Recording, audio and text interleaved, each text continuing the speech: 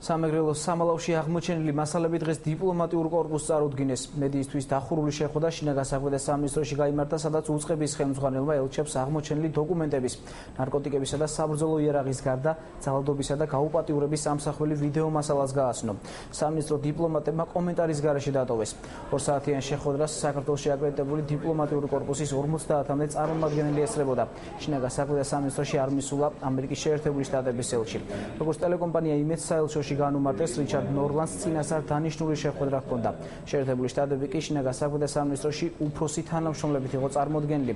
შეხვედრას საელჩოს სამი თანამშრომელი ესწრებოდა საერთაშორისო სამართალდამცავ საკითხებში ელჩის მრჩევლის ხელმძღვანელობით.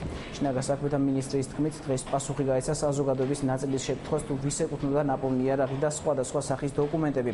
მინისტრის ინფორმაციით აღნიშნულ თემაზე უწყება დეტალურ ცნობებს დღის განმავლობაში გაავრცელებს. That uh,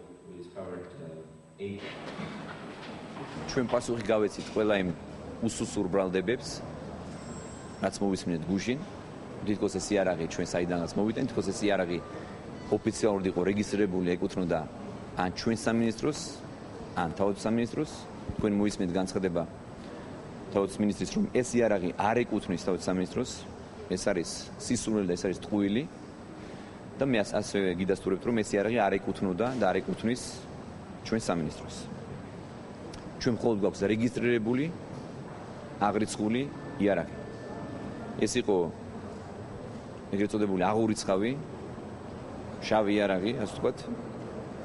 იქ ნარკოტიკები და სხვა მნიშვნელოვანი და გამოძიებისთვის საინტერესო მასალა.